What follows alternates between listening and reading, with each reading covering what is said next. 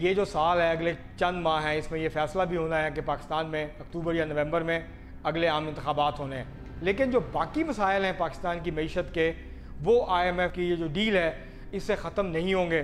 तेईस प्रोग्राम किए हैं आईएमएफ के साथ। उसमें से सिर्फ़ एक प्रोग्राम जो है 2013 से 2017 तक वो मुकम्मल किया। इसके अलावा पाकिस्तान की पूरी तारीख में किसी भी हुकूमत ने आईएमएफ के साथ कभी भी अपना प्रोग्राम जो है उसको मुकम्मल नहीं किया। उसकी वजह यह है कि जो पाकिस्तान की हुक्मरान इशराफिया है, वो उन मुआशी असलाहत को करने के लिए तैयार नहीं है, जो एक करोड़ रुपये महाना कमाता है, वो भी उतना ही टैक्स देता है, जितना एक हज़ार रुपया रोज़ कमाने वाला या दो हज़ार रोज़ कमाने वाला या पाँच सौ रोज़ कमाने वाला देता है। असलम नाजरीन, पाकिस्तान खबर डिजिटल के प्रोग्राम माइंड गेज के साथ मैं हूँ खालिद भट्टी। आज हम बात करेंगे आईएमएफ के साथ होने वाली डील के हवाले से कि क्या इस डील के नतीजे में पाकिस्तान को जो तीन अरब डॉलर मिलने हैं, उससे पाकिस्तान के जो मौशी मसाइल हैं, वो हल हो सकेंगे? क्या जो मीशत के ऊपर गैर यकीनी के बादल छाए हुए थे, वो छट जाएँगे? और जो मार्केट के अंदर इन्वेस्टर्स के अंदर जो बेचैनी थी, उसके अंदर कोई कमी वाक़ होगी या उसका तसलसल जो है वो बरकरार रहेगा?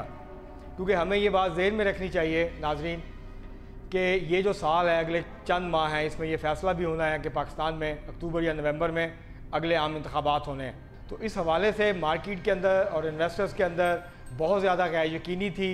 एक मौशी अदम इसकाम की सूरत हाल थी, जो कि आई एम एफ़ के साथ डील के बाद और उसके साथ साथ सऊदी अरेबिया से जो दो अरब डॉलर मिले और एक अरब डॉलर जो यू ए से मिले, उसके नतीजे में जो गैर यकीनी थी, वो बहुत हद तक कम हुई है। पाकिस्तान की मीशत को ये जो टॉनक के इंजेक्शन लगे हैं कर्ज़े की शक्ल में, इससे जो मुशी अदम इसकाम था और गैर यकीनी थी, उसके अंदर यकीन कमी आएगी। और जो मार्केट्स के अंदर बहुत ज़्यादा बेचैनी थी, इन्वेस्टर्स जो हैं वो परेशान थे, डॉलर जो है वो उसकी कीमत मुसलसल बढ़ रही थी तो ये जो आईएमएफ से कर्ज़ा मिला है और डील हुई है इसके बाद, अब जो बाई लेटरल और यूनिलेटरल जो पाकिस्तान को मुख्तलिफ़ इदारों से पैसे मिल रहे हैं, वो भी मिलने शुरू हो जाएँगे। और अंदाज़ा ये है कि जब तक ये हुकूमत जो है, वो रुखसत होगी अगस्त के वस्त तक, पाकिस्तान के ज़र मुबादला के जो ज़खायर हैं स्टेट बैंक के, वो नौ शारिया पाँच अरब डॉलर से नौ शारिया सात अरब डॉलर पे चले जाएँगे। इसका मतलब है कि पाकिस्तान के जो मजमू ज़र मुबादला के ज़खायर हैं, स्टेट बैंक और कमर्शल बैंक को मिला के, वो तकरीबन चौदह इशारिया पाँच या सात अरब डॉलर पे चले जाएँगे। इससे पाकिस्तान की मीशत के अंदर थोड़ा ठहराव आएगा गैर यकीनी का ख़ात्मा होगा। लेकिन जो बाकी मसाइल हैं पाकिस्तान की मीशत के, वो आई एम एफ़ की ये जो डील है, इससे ख़त्म नहीं होंगे। उसके लिए जो रिफॉर्म्स हैं, वो करनी पड़ेंगी। अब सवाल ये पैदा होता है कि ये पाकिस्तान जो है, ये जो स्टैंड बाई अरेंजमेंट हुआ है पाकिस्तान का आईएमएफ के साथ, इससे पहले पाकिस्तान ने अपनी तारीख में तेईस प्रोग्राम किए हैं आईएमएफ के साथ। उसमें से सिर्फ़ एक प्रोग्राम जो है 2013 से 2017 तक वो मुकम्मल किया। इसके अलावा पाकिस्तान की पूरी तारीख में किसी भी हुकूमत ने आईएमएफ के साथ कभी भी अपना प्रोग्राम जो है उसको मुकम्मल नहीं किया। दो या तीन साल का प्रोग्राम साइन होता है, कुछ किस्तें मिलती हैं। उसके बाद जो शरात होती हैं आईएमएफ की, उसके ऊपर जब पूरी तरह से अमल दरामद नहीं होता तो फिर आईएमएफ जो है वो रिव्यू नहीं मुकम्मल हो पाता और फिर जो है वो प्रोग्राम दरमियान में ही ख़त्म हो जाता है।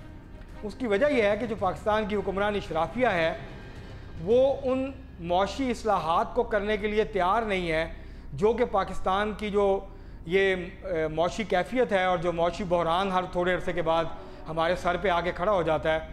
इसमें से मीशत को निकालने के लिए जो इकदाम करने की ज़रूरत है, जो असलाहत करने की ज़रूरत है और जिस किस्म की पॉलिसीज़ अपनाने की ज़रूरत है, वो पाकिस्तान का हुक्मरान शराफिया वो करने के लिए तैयार नहीं है।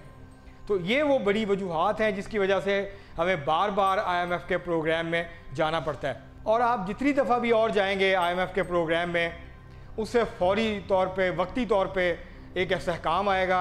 वक्ती तौर पर पाकिस्तान की मीशत को उससे फ़ायदा होगा।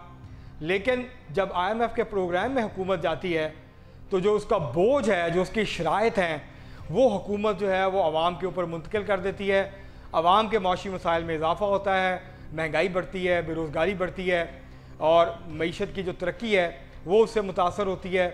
जी डी पी ग्रोथ जो है, वो मुतासर होता है और फिर एक लोगों के अंदर बेचैनी फैलती है और लोगों के जो मौशी मसाइल हैं, उसके अंदर इजाफ़ा होता है। अब अगर हमने बार बार इसकी तरफ़ वापस नहीं जाना और हम एक ही चक्कर में जो है, वो घूमे जा रहे हैं।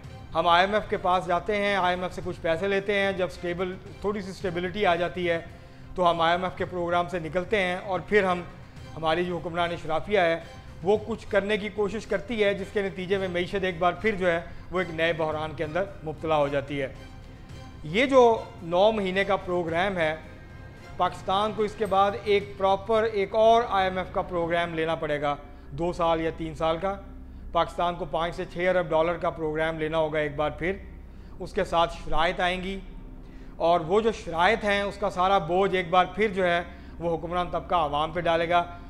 इशराफिया जो है, वो ना टैक्स देना चाहती है और ना ही जो, वो सारे सेक्टर्स पाकिस्तान की मीशत के, जो इस वक्त टैक्स नेट से बाहर हैं, जिसमें प्रॉपर्टी का है रियल स्टेट डेवलपमेंट है स्टॉक मार्केट है, और बहुत सारे सेक्टर्स हैं, ताजर हैं, बड़ी तादाद ताजरों की जो है, वो टैक्स नहीं देते, वो टैक्स नेट में नहीं है।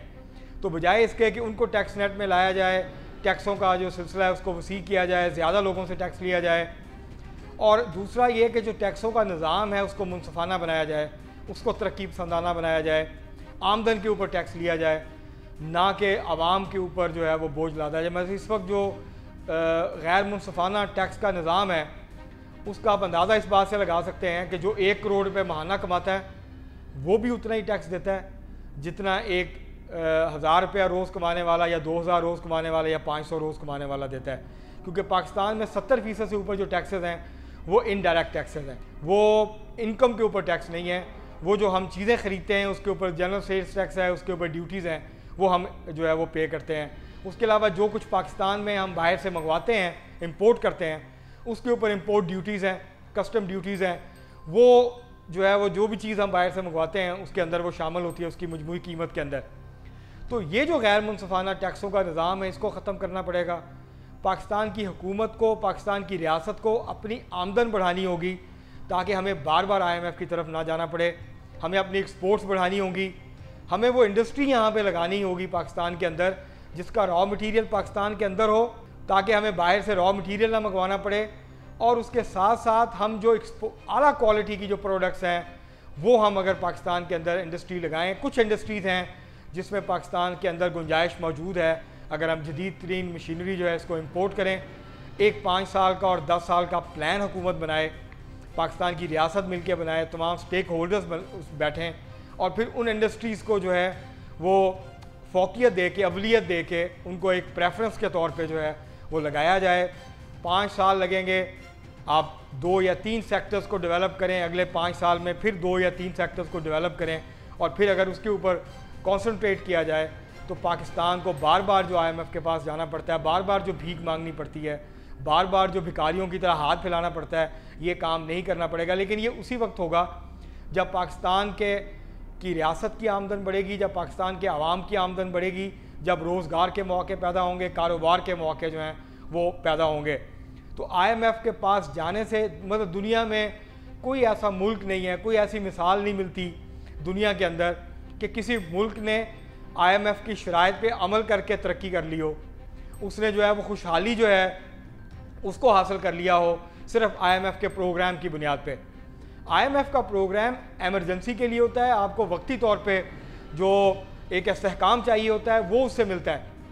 लेकिन अगर ये समझ लिया जाए कि सिर्फ़ आई एम महज आई एम एफ़ के प्रोग्राम में जाने से पाकिस्तान के जो मुआशी मसाइल हैं, वो हल हो जाएँगे तो ऐसा नहीं होगा।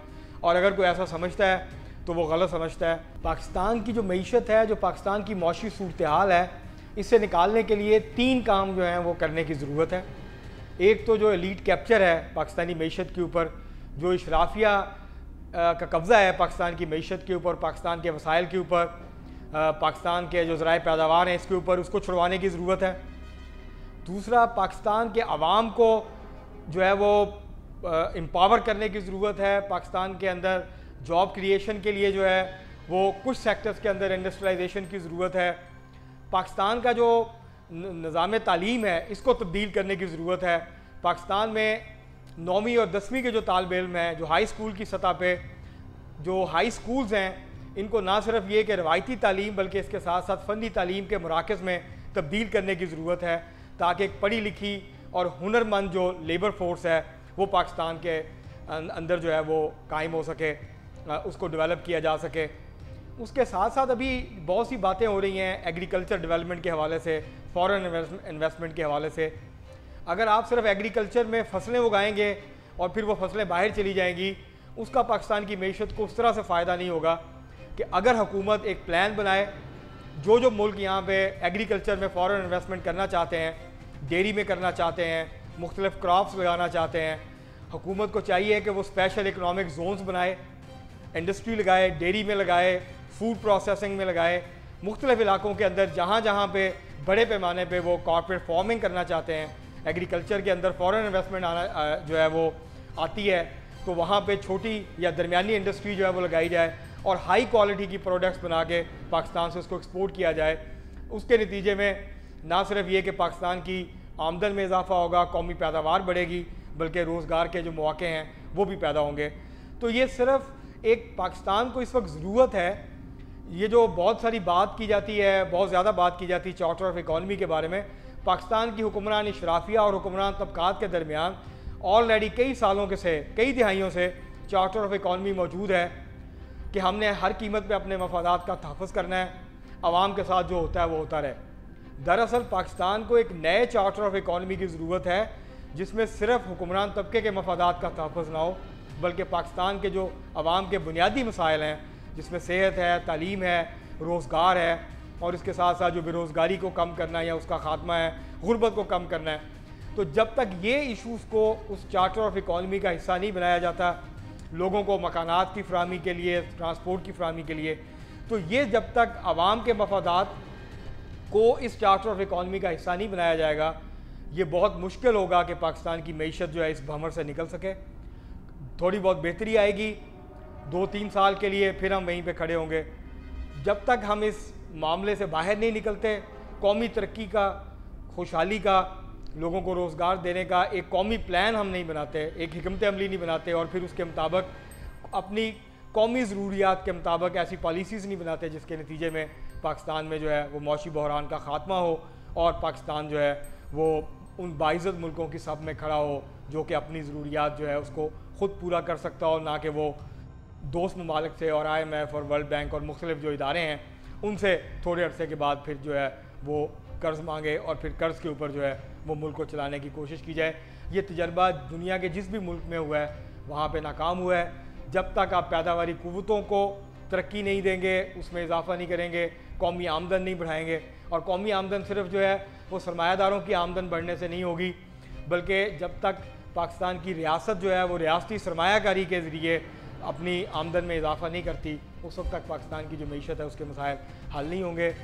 जैसे मैंने शुरू में कहा आईएमएफ के प्रोग्राम में जाने से आपको वक्ती तौर पर इसकाम मिलेगा। मौशी मसाइल हल नहीं होंगे। आज के लिए इतना ही। बहुत शुक्रिया।